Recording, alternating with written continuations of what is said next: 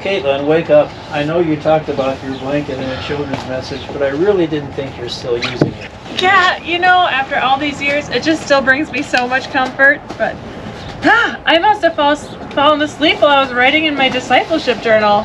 I try and write each week. It's so nice. There's a spot in here where you can write what you're grateful for and what you're looking forward to this week, and then a prayer list for people you want to pray for. So I try and do that each week. And I must have fallen asleep. Well, that's a good way to fall asleep, talking to God in prayer.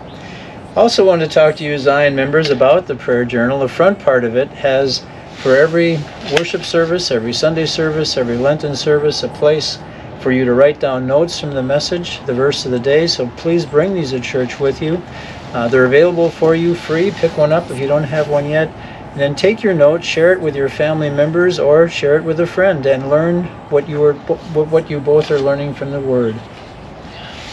You know, I'm really glad you woke me up because I was having the craziest dream that it was Lent season already. and believe me, it's only a couple weeks away. February 14th, Valentine's Day, is Ash Wednesday. And the theme is Let My People Go. We're going to walk through a good chunk of the book of Moses and see how God paints a beautiful picture of His amazing grace that we receive in Jesus. And uh, we invite you to come and be a part of that. Pastor Dan will be leading us in a good number of these worship services. We look forward to having you with us.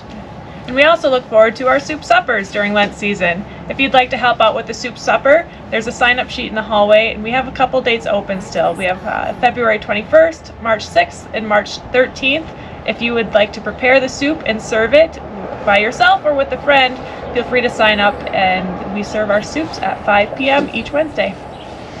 And while we are sad that Senior Pastor Guy is no longer here, this is a time we especially request your prayers, the staff, for Leadership Council, Building Committee, because they have more responsibilities laid on their shoulders, but we know God will provide because God's got this.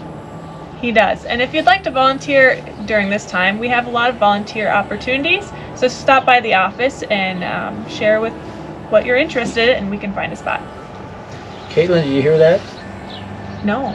That's my recliner calling. It's my turn.